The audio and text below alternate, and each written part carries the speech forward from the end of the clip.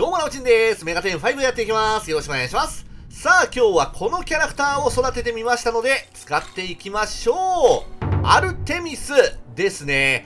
物理系の最強アタッカーは、オーディーンで間違いないと思うんですよ。オーディーンが一番火力があります。そして2番目の強さとなると、義経かなと思ってたんですけども、アルテミスの方が上ですね。えー、義経とアルテミス、火力的にはそう変わりはありません。ほぼ同じぐらいですね。でも、アルテミス、体勢が素晴らしいんですよ。体勢がすごくいい。そして、ユニークスキルが強い。えー、っと、自身の防御力が2段階上昇しているかつ、防御中であれば、相性を無視して貫通する効果を無効化する、えー、タンクとして使えるんですよね、アルテミス。で、タンクでもいいし、アタッカーもできる。ということで、えー、義経よりもアルテミスの方が強いと思います。そして、スキルはこんな感じにしております。銀河劣勢剣。これがとにかく強いんですよ。まあ、敵全体ランダムではあるんですけども、15回勝利力の物理属性攻撃ですね。そして、方向、プレロマを2つ。で、耐性系を3つ入れてまして、最後に皆殺しですね。えー、クリティカル率次第では、皆殺しはいらないかなと思うんですけども、まあ今のところつけてる感じですね。はい、それでは早速行ってみましょう。それでは連続戦闘をやっていきましょう。難易度は創生のノーマルですね。敵の HP はかなり高くなっております、えー、まずはオーディンの攻撃から。ルングニルこれはねとにかく強い。これ以上の火力を出そうとするとなかなか難しいんですよね。もうほんと全キャラトップクラス物理系で。まあ大体6700まあ7000ぐらいですね。7000ぐらいのダメージを与えることができます。うん。まあ強いよ。まあ強い。で銀河劣勢剣。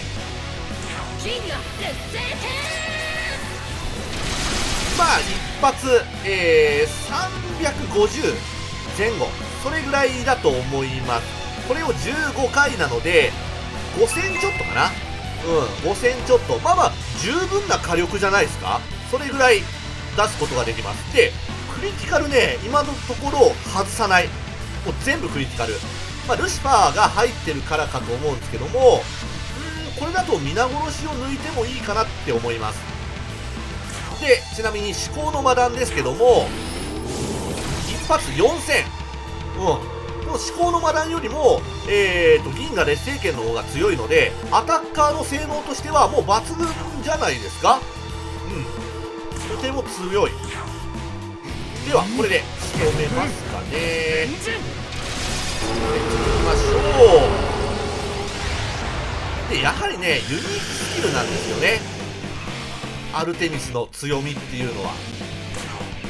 うん、まあ、火力があるっていうのはもちろんのこと。この方向でえーと、防御力を1段階上昇させる。まあまあ1段階なんですけどね、うん、他にまあバフをかけて、えー、2段階一気に上げてあげれば、えー、それで攻撃を全て受けてくれますので。いいよね。OK で皆殺し抜いていいならばあれかあの全体攻撃のやぶさめを入れると良くなるんでしょうかね。どうだろう。結構あのコメントでやぶさめ入れてるっていう人が多いみたいなのでやぶさめを入れていくのが正解なのかもしれませんね。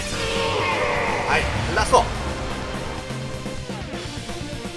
ここでちょっとえー、っと方向入れてみようか。あ方向2発入れればどうなる？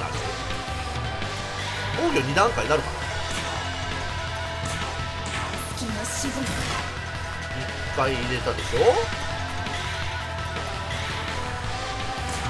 方向2回目。あ上がってるね。あミスった。ミスった。あ防御2段階上がってる上がってるとなるとこれで敵の攻撃がえーとアルテミスに向きますよね。あミスった。あまあいいや。ミスった。これ吸収されるんだ。ガードだったか。うん、全体攻撃じゃちょっと分かりづらい。あああそうか。方向を入れてそうだわ。ガードしなきゃいけないんだ。